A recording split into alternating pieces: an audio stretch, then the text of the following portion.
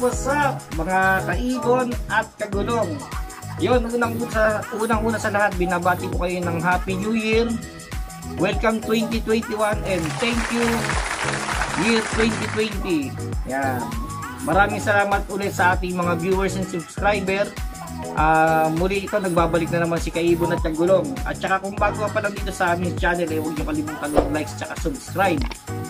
Yan. Bali, unang-unang aviary visit natin January 1. Yun, pinaunlakan tayo guys na yun, no, ng isang masasabi nating veteranong breeder. Big time breeder. Ano, big time siya kasi sa puso, tsaka sa pagiging mabait niya, kumaga humble na tao to. Breeder ng tagig. Si Boss MJ Dios, ang pangalan ng ano niya, ng aviary niya is Pilcor Mini Aviary. Kaya guys, excited na ako. Yun, konting oras na lang boss. Pilcor Main Avery, andyan na ako. Kayo guys, gusto niyo bang makita ang kanya mga naggagandang ibon?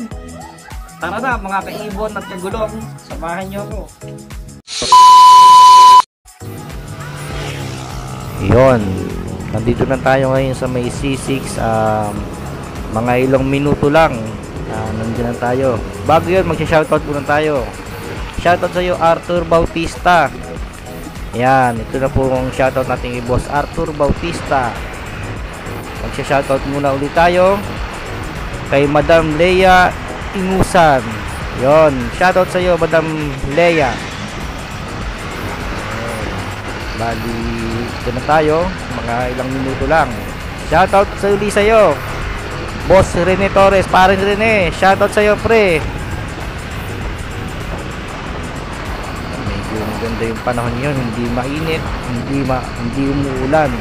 Yon shoutout ulit sa iyo Madam Kimi Bong Kikmi. Yon shoutout po sa iyo Madam. Ay mga susunod na magpapa-shoutout uli marami pa tayong video mga susunod shoutout ulit sa iyo Boss Miles Suliman yan ito na po ang inyong request shoutout sa iyo Boss Suliman Tan tan tan tan. Shoutout sa iyo, Boss David Jan Queno. Yan. Si, inahanap niya si Kaiboy. Wala, nasa bahay. Iniwanan ko, makulit eh. Mahirap mag-angkas ng makulit. Tapos kulot pa.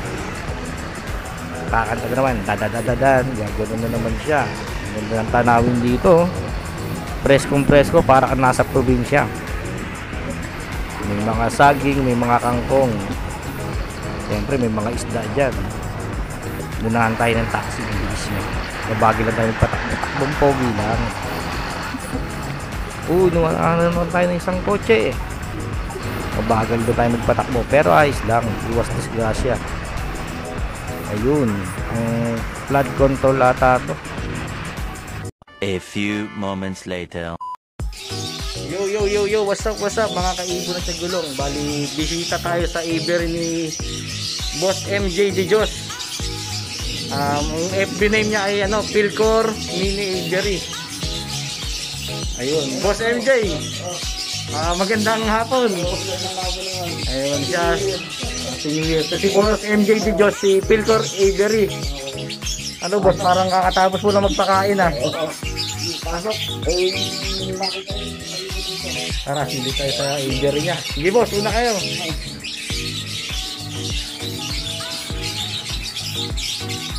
Yung boss, ano, Pilcor, bakit nga pala ano, tinawag na Pilcor yung aviary nyo? Pinto pinagmula niya na Team Korea. Ah, pinagtama ko kaya nag-video. Ba't Koreano po ba kayo? Oo, sa Koreano.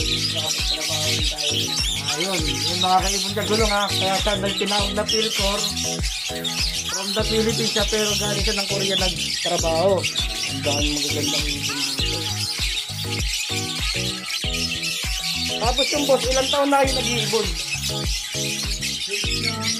2009. Para sir, naipot na ng year na yun. 2021. Ilang years na? Parang yung mga 11 years na. 11 to 12 years, ano? Hindi ko tayo nakakita ng mga ano eh. Misty Opa. Opa Pale. Tapos, Lutino Opa.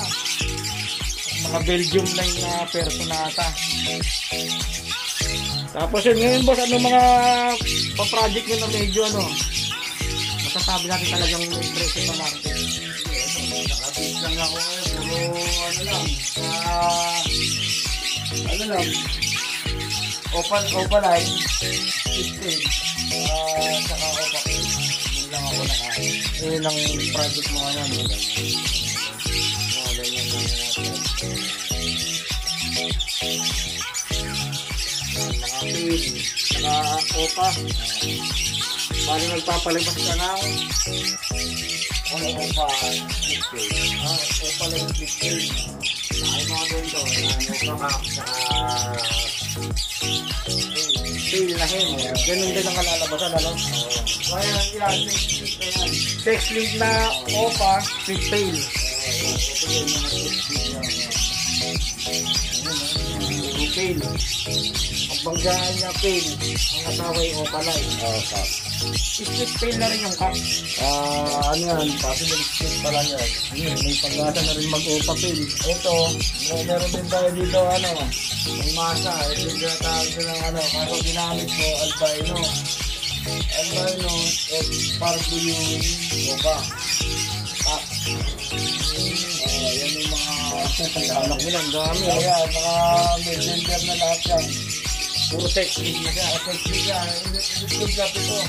Lahat ng YouTube niya. Ay, sa mga pinisa, lima na, apat. Ano na eh. Ang pinitang na, apat na. Parang lima. Lima na. Lima na ko. Dalawa pa. Pagka ganyan, iba pinoposter na eh. Pero ito mukhang magaling yung hen mo eh. Magaling yung mga dalaga. Pag nag pag nag this one opa, automatic hen. Pilipino. Rin. Ito may nasiga. Fail. Marami kasi wala pilit wala matay muna ng ano nila eh. Pero ilang pa itlog na naiwan? Ang initlog niya, bali, anim ata. Yan, anim. Puro sarili yung itlog nila yan. May tagata tayo yung limang yan. Kasi wala matay yan. Split opa, split fail yung tatay. Oo. Yun eh. Pero mabibigat. Oo, yun ang ano na. Saka, ito, dilute. Yung dilute. Ah, dilute. Dilute. Yan. Yan, dilute. At saka opa. Opa yung cup. Pareso lang ang possible fail yan. Test breed siya kung magkakarga sa fail. Pero matik opa na. Hindi, ah, ano siya, yung opa, yun. Ah, yun. Gagawa lang ako ng piyesa ko sakali ng, ng, Natawag na materyales. Oo, ng fail, split, opa, split, dilute. Oo, yun ang niya. Ang ganda oh.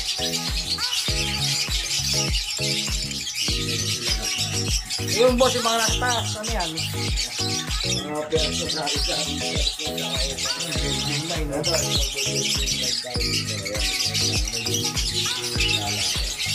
Yan, mga kaibigan tulong oh.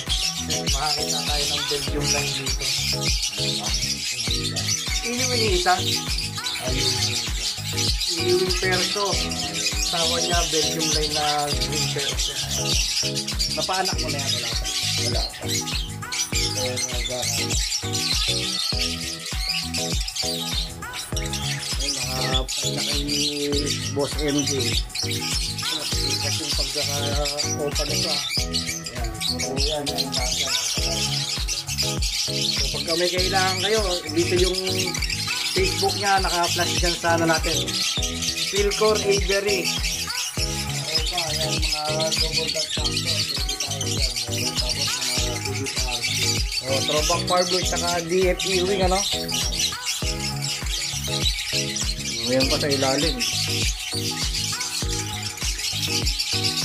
Ayun, may motel doon. Motel na yan ganyan, Boss MJ, no? Yan yan, ah, heavy bike lang yan. Ah, heavy pipe. Ayun, may Belgium line sa dulo. Nakatulog ng ulo. Latino pa. Na ito, ito yung na pag pinapares nyo lahat na nang iaanak niya, wala na ibang iaanak ako, hindi Pablo Opa. Oh, paano mangyayari yung boss MJ? Kasi pares naman puti yung ulo nila parang Oo, pa, yung pa, ah, ano yan, ah, opaline lang na bayo, yung hen, bayo, sige Pablo.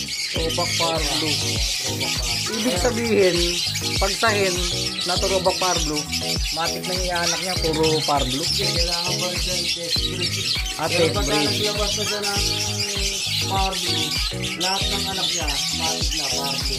Surod-surod na yun, ano? Wala naman ibang karga yan kung hindi Pablo lang, tapos sopa.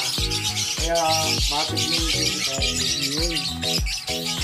Kasi naglabas na siya, kaya ng anak niya. Oo. Pablo, Pablo. Parlo pala yun. Lang. Week ko lang kasi nagpalabas ako ng ano, mga.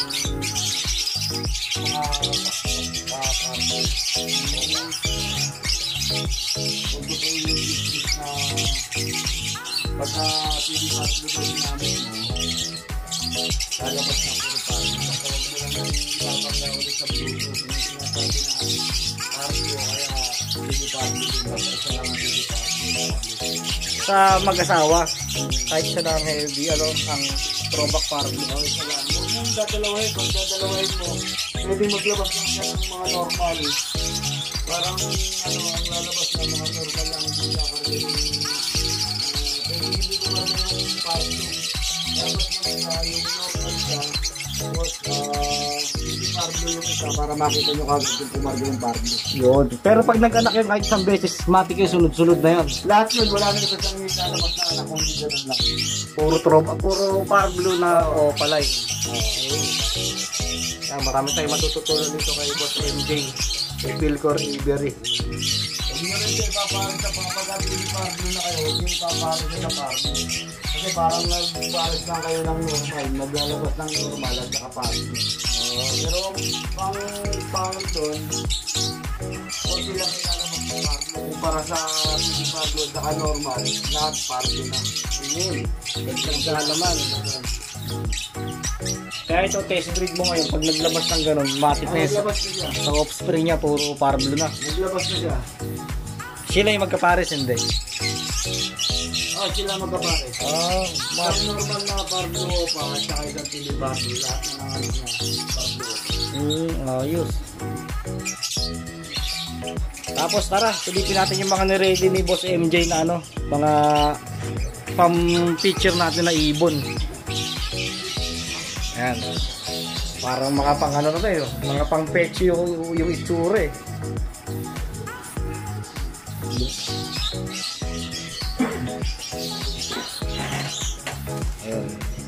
Ito, ano tong ano, anong mutation to, Boss MJ, to to. Tumon tayo sa nauuna. Ito, ano to? Luti, Lutino lang to eh. Lutino Eh, normal siya. na Lutino. Normal na Lutino. Paano natin ma-distinguish na normal lang siya? Ah, yan, na hindi siya masyadong sable. Kaya makikita mo na ano siya, yung tawag dito, normal na normal lang. Normal lang. Oo, yung mata niya, ino. Pero ngayon, Boss MJ, parang ang lakas ng market nito. Tumaas ng husto yung presyo niya. Pa paano nangyari yung kaya? Kasi pininisip ng iba na pinagmulan daw ng iba-ibang lahi ng pula mata to. Tapos at saka ano, saka nauso yung opalay na Lutino. Masyadong maganda ang pagkakalabas ng opaline Lutino kaya hinahabol nila makapagpalabas din sila ng opaline Lutino. Oo. Galing dito sa All Lutino, no? Lutino, Pang project. O pakaka. Yun. Tapos yung ano, yung iuwing dati, alam ko dito nang galing sa Lutino eh, no? Oo, Lutino at saka green t-shirt. Puro ordinary yun. Oo, ordinary. Naglabas ng Ewing, kaya dito nagmula yung Ewing. Yun, tandaan nyo ha. Ano? Lutino, pinagmulan ng iuwing hanggang sa tumaas na lang yung, kumbaga, kinonvert nila sa ibang kulay. Oo. Hanggang sa nagkakaperso iuwing na. Oh, yan ang gusto sa libro. Kaya yung Lutino ay masyadong mahiwaga. Ayuada. Yan, totoo yun. Tapos dito tayo ngayon sa pangalawa. Ito kung titignan ko to, Boss MJ, parang blue opa siya eh. Oh, blue opa. Pero anong talagang ID niya? Yung ID talaga nito, Opa Blue Misty. Misty yun ang Oo, ano ron. yes, Oo. Ayan, no, makikita nyo kasi paano malalaman yung ano SF na Pagka Misty. bukod sa nailawan, kailangan iligay nyo siya sa medyo madilim na lugar para makita nyo na ano. At saka picturean nyo siya na may flash. Makikita nyo medyo Uy, nag-iiba nga dito boss MJ oh. Niya. Sa malayo ako blue siya. Oo. Pero naka-flash tayo habang tinututukan ganyan. Ayun, nag-iiba. oh. Nag-iiba ya. Parang nag-move na medyo may kintab-kintab eh. Ayan. Eh, iba na naman kulay niya rito sa ang gulong to. Sa ibang angulo, umiikot siya. Nakikita yung kulay niya. Blue green. Ayun, paano makapagpalabas ng Misty? Boss ano MJ? Ang misty sa incomplete dominant. Pagka ito pinaris ko, ang visual at saka non-visual, pwede na siya maglabas ng misty. Pwede rin hindi maglabas ng misty. Pero yung anak niya, continuous pwede maglabas siya ng misty. Ah, parang sa ano rin siya, sa Par Blue at saka sa ano, Ewing. Oo. Ay hindi, hindi siya, ano, basta ito kasi, yung incomplete dominant niya, hindi, wala kasi siyang split eh. Ah, hindi na Oo, hindi siya na-split. Kaya kahit sa visual, kahit visual ang parents at saka non-visual, pwede siya maglabas ng misty.